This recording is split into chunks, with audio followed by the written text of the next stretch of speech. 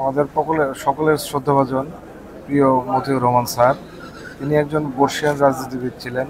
তিনি একজন ত্যাগী এবং সংগ্রামী নেতা ছিলেন। তিনি মহান মুক্তিযুদ্ধে অংশগ্রহণ করেছেন এবং পরবর্তী সময়ে আমাদের মহান মুক্তিযুদ্ধের চেতনা বা বাঙালির যে কোনো প্রয়োজনে বঙ্গবন্ধুর আদর্শকে ধারণ করে জননেত্রী শেখ হাসিনার নির্দেশে তিনি বিভিন্ন লড়াই সংগ্রামে তিনি নেতৃত্ব দিয়েছেন। এই এই অঞ্চলের আওয়ামী লীগের অবস্থানকে সুসংহত করেছেন।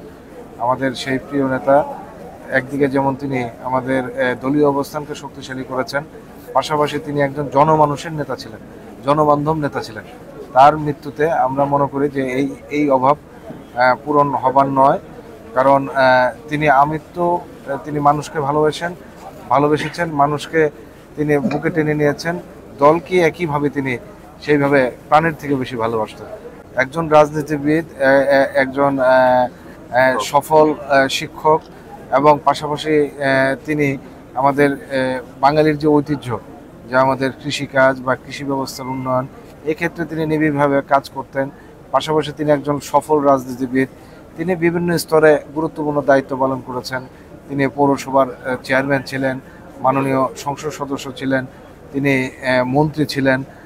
দলীয় অবস্থানে তিনি কেন্দ্রীয় নির্বাহী কমিটির সদস্য ছিলেন। উপদেষ্টা পরিষদের তিনি সদস্য অবস্থায় মৃত্যুবরণ করেছেন।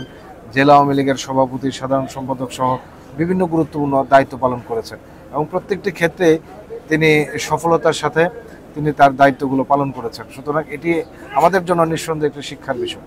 সুতরাং আমরা তার আত্মার মাগফিরাত কামনা করছি। আল্লাহ পাক যেন তাকে বেহেজবাসী করেন